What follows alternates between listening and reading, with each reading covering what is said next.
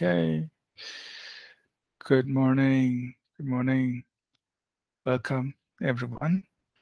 Uh, let's take a moment to pray and then we will get our class started. Uh, may I ask uh,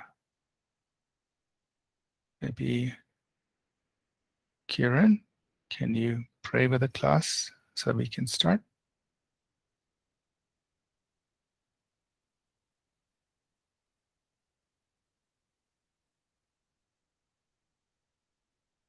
Um, okay, Daryl, why don't you pray? Sure, Master. Thank you. Master, can you hear me? Yes, we can hear you. Uh, loving Heavenly Father, thank you for this wonderful day, Father God. Thank you for your hands of protection upon us over the week, of Lord Jesus. As we uh, um, start our today's class of Father God, I submit Pastor, I submit others who join our Father God Jesus.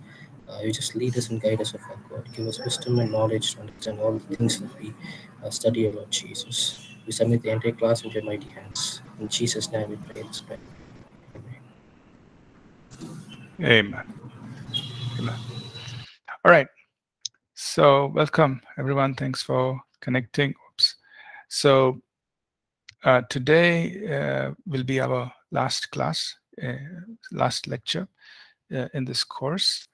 Um, last week, uh, not uh, last week, we talked about project planning ex execution. last hour, that's on Wednesday, I just uh, kind of uh, ran through some of the software uh, products that we uh, can use in uh, for the administration or the operation of a of our church or Christian ministry. Uh, so we just went through that, and today I just want to make some comments with respect to uh, strategic innovation and also some thoughts and comments on uh, continuity, establishing continuity. And after that, we'll just quickly review the whole course and uh, we'll be done for today. And uh, so we will, there will be no more lectures from next week. Uh, but instead, what I will do is uh, I will create three assessments, put it out in Google Classroom and on the e-learning portal for those who are using the e-learning portal. And this, this is just to review the materials. You just, during the month of November, you take time to just um, finish those, uh, do those assessments. So there won't be any lectures in November, but it's just a time for us to do the assessments that I put out, okay? So what I want to do now is I just want to talk about two things.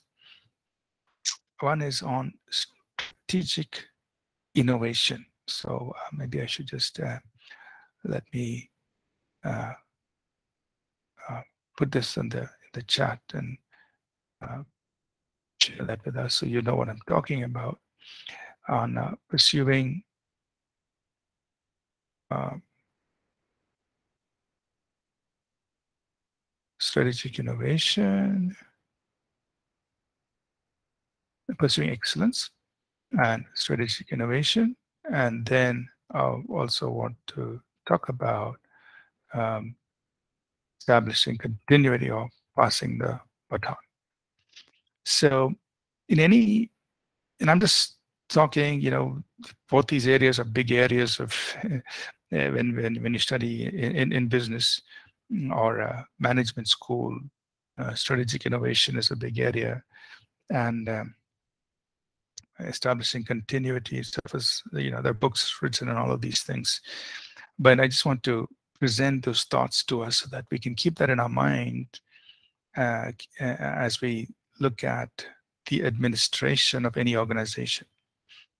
So, in the administration of any the Christian of the church or the Christian ministry, uh, there has to be this ongoing pursuit of excellence and innovation.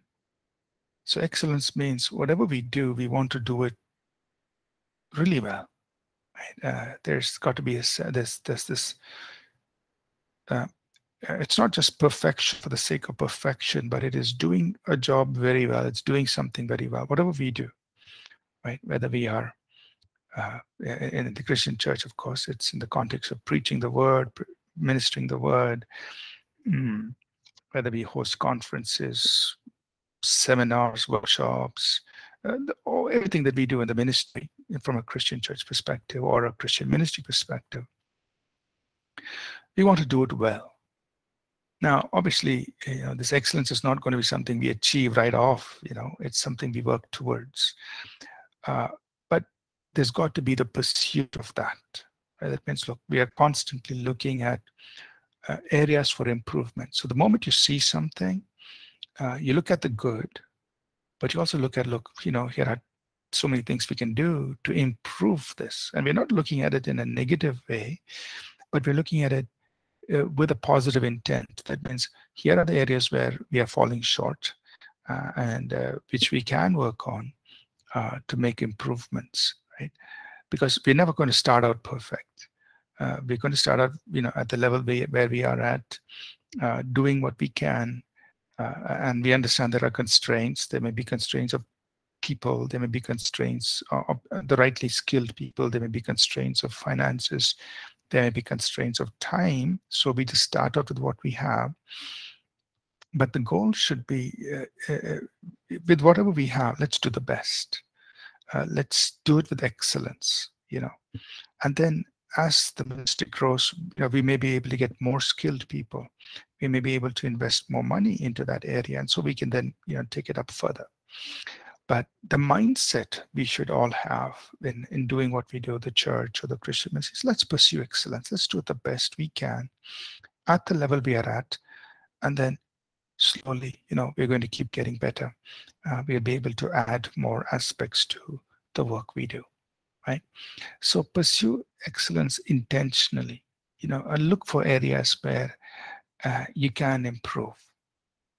You know, for example, I'm just giving you as an example you know, uh, right from the beginning, early days, you know, in those days we had, uh, we didn't have uh, LCD projectors and laptops, but we had, um, you know, what we used to call as um, overhead projectors. And we had these uh, clear plastic sheets, vinyl sheets, that on which you know we would have uh, the lyrics of the song written. So you place it on that overhead projector, I mean on the projector, and it'll project the lyrics on the screen or the wall. So that's how, you know, during worship time, there should be somebody sitting and they'll be manually moving the vinyl sheets, uh, the clear sheets, and project the lyrics on it. So that's how we used to do it in those days. But the point was a simple thing like make sure that the lyrics are without any spelling mistakes make sure the lyrics are right, you know, whatever is printed on the vinyl sheet which is projected. Make sure that when it's projected, they're big enough for the audience to see from, you know, however far they were. These are small things, but these are things we should look at. It's not enough to say, look, I have a projector, I'm projecting something on the screen. Uh, are the words right? Are there spelling mistakes? Um, is it big enough for people to to see and worship you know. Um, so right from those days, you know, we to remind people, hey, let's get that right, you know. And then, of course, you know, by the time we moved to these uh, laptops and, you know, these uh, LED projectors, but then the same point, make sure, you know, what is projected is right. There's no spelling mistake. Make sure it's big enough for people to see from a distance kind of thing, you know uh, it's a, it's an ongoing pursuit of excellence and that's the mind i'm just giving one example but that's how we should view everything we are doing. All the areas of ministry look at it. Like are we doing a good job? Are we doing it well? Uh, what are the areas we can improve? Even small things you know. Uh, and I'm, I'm i'm saying spellings because uh, sometimes bad spelling wrong spellings it leaves a very bad impression on people. Uh, spelling mistakes, typos, those kinds of things. You know, so you have to keep looking out for all those details. And basically, our goal is whatever we do, we want to do it well, the best we can, for our Lord. Ultimately, it's we're doing it for Jesus. So pursue excellence. The second thing that uh, we must pursue as a church ministry or as a Christian ministry in the work we do is strategic innovation. Now, we say strategic means it's got to be relevant for the times in which we live. And it's got to be something that's going to make a difference in the lives of people. Innovate means you're doing something new. You're doing something that has not been done before. Right? Uh, so you're, you're, you're, you're strategically innovating. Strategically, you're doing something new. So you're not doing new something new for the sake of doing something new or something different but you're being very strategic. That means you've thought through it and you know that it's going to make a difference in this area. Right? So that's another thing we have to think about. Strategic innovation. Can we innovate? Can we do something different, something new that is very strategic, that's really going to make a difference, maybe in an area that uh, nobody else is doing something, uh, nobody else is, you know, maybe attempted to do something. From, from I'm talking about the church or the Christian ministry. Right? So we need to keep thinking along those lines. Strategic innovation. How can I do something new that'll make a difference? And uh, this is something we have to, you know, motivate our team members to do. For example, this this morning, mm, I sent an email to our uh, to some of our pastors um, who are working with children and teens, that age group. And I sent them a list of uh, links. Uh, and this is research that is put out by the United Nations um, and other global bodies that are looking at how children, teenagers, how their world is changing.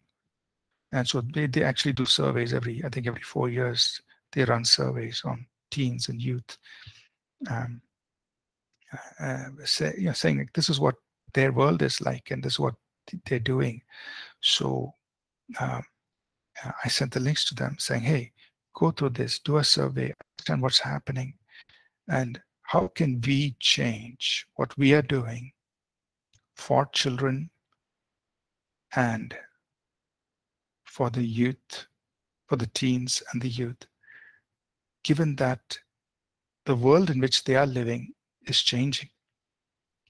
So some of the content that we've developed was done, you know, over five years ago, some even close to 10 years ago. Now, the truth doesn't change. The, the word of God doesn't change. But how we deliver it to people, uh, to our intended audience is changing. The world is changing. So we need to innovate. We need to, you know, uh, uh, think of different ways in which we minister to uh, those age groups, those categories, right? So strategic innovation, thinking creatively, and uh, uh, thinking of ways by which we can connect to people or doing things that will make a difference uh, in their lives. We think like that. So I want to encourage you, innovate strategically, could do something new, but with a well thought out, you know, plan and knowing how it's going to make a difference. So that's strategic innovation. The last one is on establishing continuity. That means in any organization, especially when talking about a church or a Christian ministry, it is very likely that uh, we want this to continue right? I, um, it's very rare that you start an organization say, okay, this organization is intended to live only for four years. I mean, there are some things that may happen like that, but usually a church or a Christian organization, the, the intent is for the work to continue for succeeding generations to come. You don't start a church and say, okay, this church will exist only when I'm here and I'm gone, the church goes. No, we don't do that usually.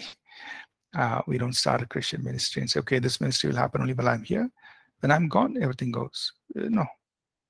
Uh, we, uh, uh, the intent is this work must continue even after I am gone. Now, that means we have to start thinking in terms of how do we establish continuity? How do you pass the baton so that uh, other people can continue the work, whether it's a church or any Christian ministry that's set up, how can they continue the work even after the you know current leaders leave? Very important is to raise up the younger generation, raise up the next set of leaders. You know, and sometimes I see pastors, I see churches, uh, and uh, the pastor now is elderly, he's, you know, well into his um, later years, but there's nobody to continue. And um, we are wondering, like, okay, you know, what happened all these years? Uh, some where, where where is the next generation of leadership and the, the the organization that can continue the work. And sadly, in many cases, uh, you don't find that uh, in the church, in, in that or things that I've observed, or uh, in the Christian ministry. And so what happens? Uh, it just dies out, you know, because there's no, there was there was not a plan to continue the work. So, in whatever ministry we do, whether it's a church or some other Christian ministry, try and think along those lines that, uh, hey, I need to intentionally raise up leaders, train them so that they will start from where we left. They will take it forward. Uh, you know, and their generation may have different challenges and different opportunities, but they should know how to move, how to navigate, and to go into those new opportunities and overcome those new challenges which they may face in their generation, in you know, in the years to come. But then we can groom them, we can train them, we can pass on our learning to them, so that uh, they can take things forward. So, what I want to say is we need to be intentional about it. Uh, start thinking about it. Uh, bring in intentionally younger people. Uh, start passing on knowledge, learning, guidance, information as much as we can, transfer it so that when it's time for you know the older the uh, one one level or one generation step out and new leaders to take over they, they will be able to do it. They should be able to do a better work than what was done. It's like if you can if you want to imagine it the ceiling our ceiling should be their starting point. So they start from where we left. If we are able to hand things off in a proper way, they can build further and take things forward. Okay. Now, in the next few minutes, uh, I will just do a quick review of uh, what we have uh, covered in this course so far, uh, just, just to refresh our minds, and then we will dismiss. All right. So in this um, course on church and ministry administration. Now, I, I put out these notes in in bits and pieces, and uh, so we, you know, we wanted. To, or let me look at the table of contents here. So this is what you know we went through. We wanted to understand uh, administration and everything that goes into the administration of a church or a Christian ministry. So the idea was to give us a good overview of here are all the different aspects you need to think about uh, in the context of a church, uh, a church administration or ministry administration, right? So we talked about the importance of uh, good administration from a biblical perspective, why uh, this is important. Uh, we also looked at the prop, you know, the practical side, you know, why why we need to have good administration, and how do you overcome some of the excuses people make. I'm talking about in the Christian context uh, to excuse themselves for poor organization. And then we looked at what are the objectives of good administration. Right? What are we trying to achieve? Uh, you know, we we said that uh, there is uh, there is, uh, we, of course, in, in the introduction part, we talked about the difference between leadership, management, and administration, and we need all three uh, for, for the organizations to do well, right? So we want to, in good administration, while we develop people and establish systems and fine-tune processes, allocate resources, we want to ensure there's alignment, there's efficiency, there's productivity, so that the goal and the, the overall vision of the church or our organization can be achieved. So yeah, we're looking at alignment, efficiency, and productivity. And then we said, okay, in, in, in, what goes into this? There's, there's need for people skills, there's need for organizational skills, and there's also need for execution skills of how you execute things for good organization. So then we started with the very basics. The very basic is you have to first form a trust or a governance.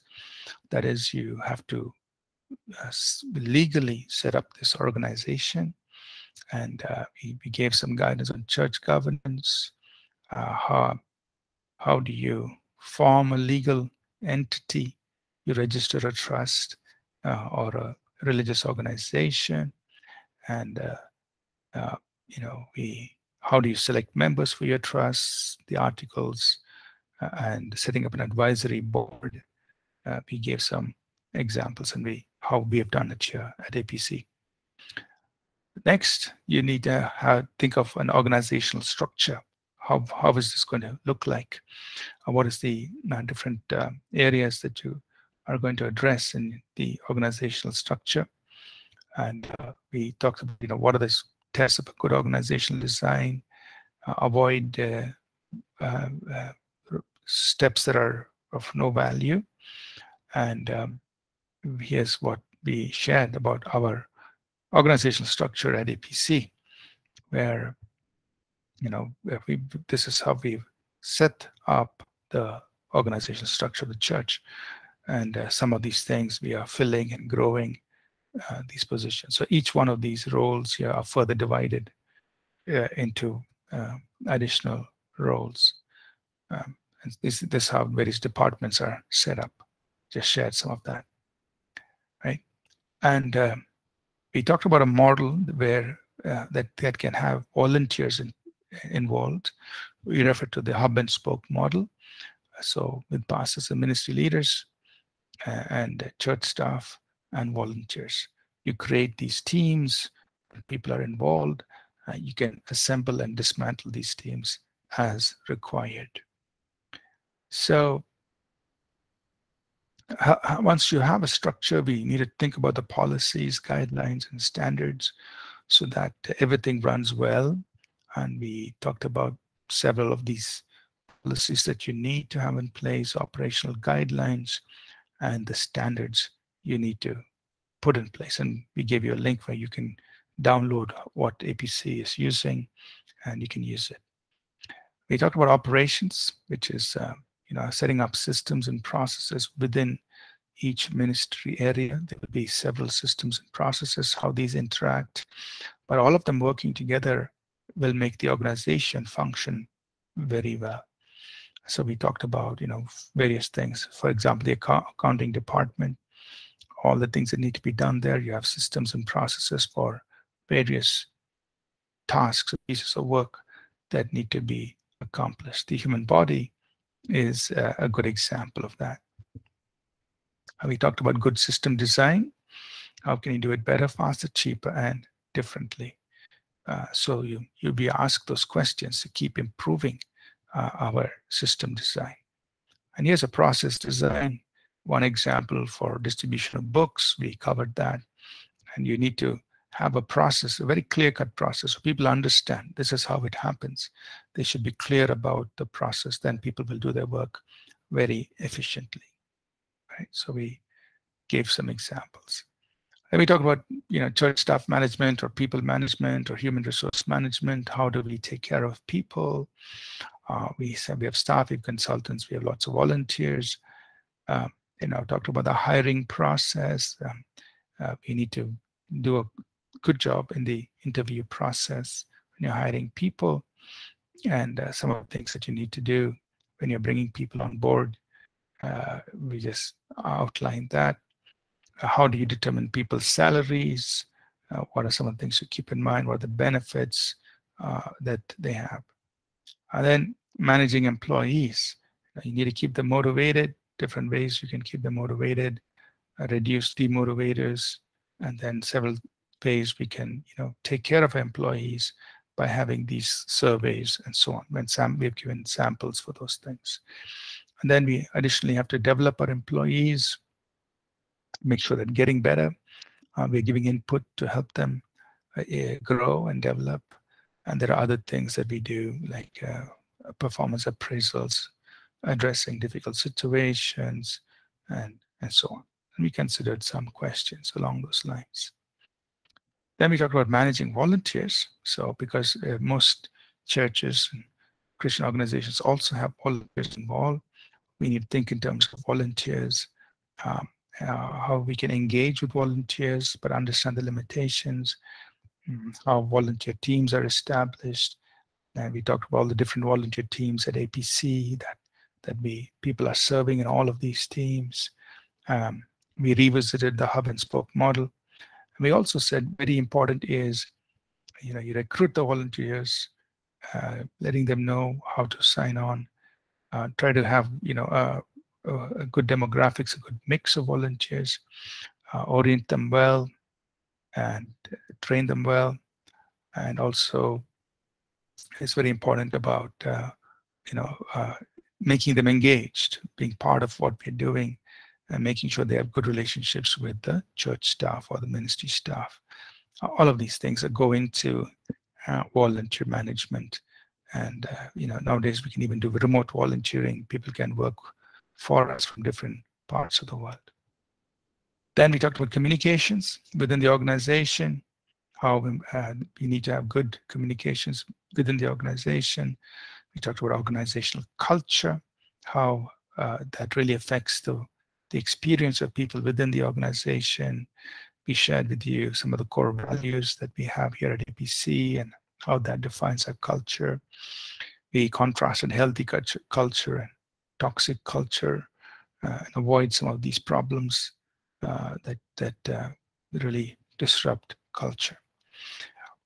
Then, yeah, just evaluate, assess what's happening within the culture.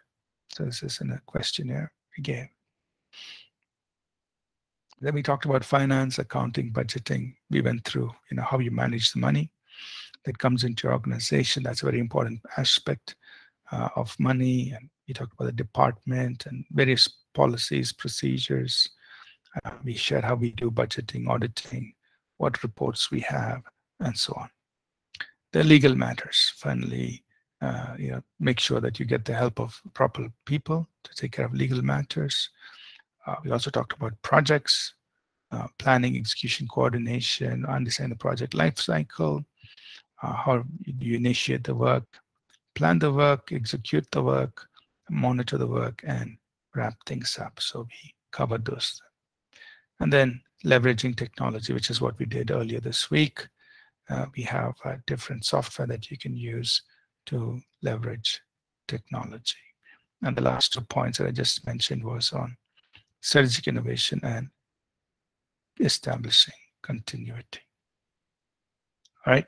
So I hope that uh, you know this course has uh, kind of just given you an overview of uh, you know what really goes into uh, the organizational side of a church or a Christian ministry. Now, many people don't think in those terms. We think like, okay, church means I just preach and I just uh, you know, pray for people. Well, that is, and that's part of what we do. But there's a lot of things that happen in the background, which is really needed to for effective ministry to serve people well. And so having a very strong, well-run organization is important to do good ministry. Right? Any questions, any thoughts before we close today?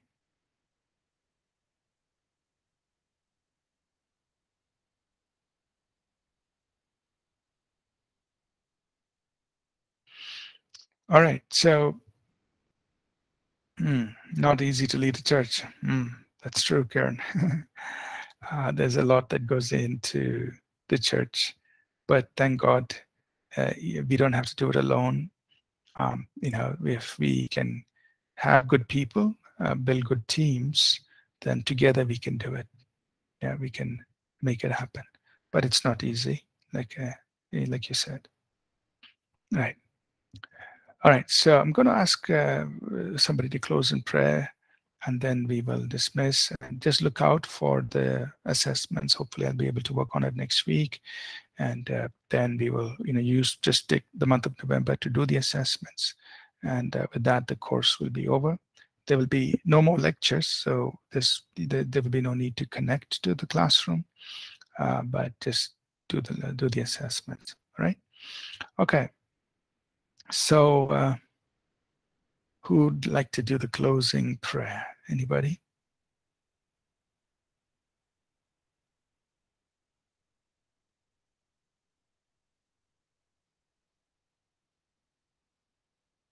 Okay. Maybe Siddharth, is your, is your phone okay? You could pray for us and close out.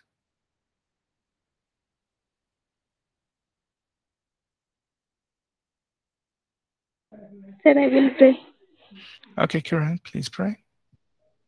Thanking you, Father God, for the day and thanking you, Father God, the subject, Father God. There is so much, Father God, we learn the subject, Father God. Thanking you, Father God, for all the knowledge and wisdom, Father God. Father God, uh, give your wisdom and knowledge more, Father God, that that we can apply to your kingdom work, Father God. Father God, there uh, the, the church and the you work, Father God, that is not easy, Father God. Father God, help us to move forward, Father God.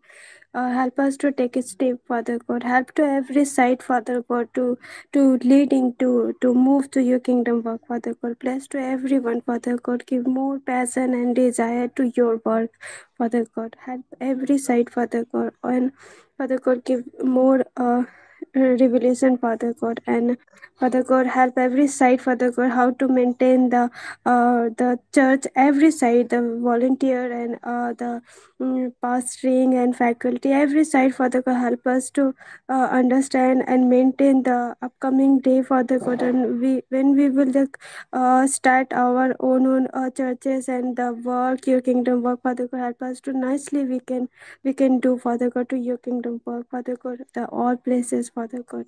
Father God, uh, lead lead upcoming time, Father God, submitting to your hand the whole week and the weekend and uh, the the day, Father God. Thanking you for every side, every moment. Thanking you, Father God. Almighty Jesus' name we pray. Amen. Amen. All right. Thank you, everyone. Take some time to think on these things. Work, do well. God bless you all. Thank you for being part of the course. And, uh, God bless you. And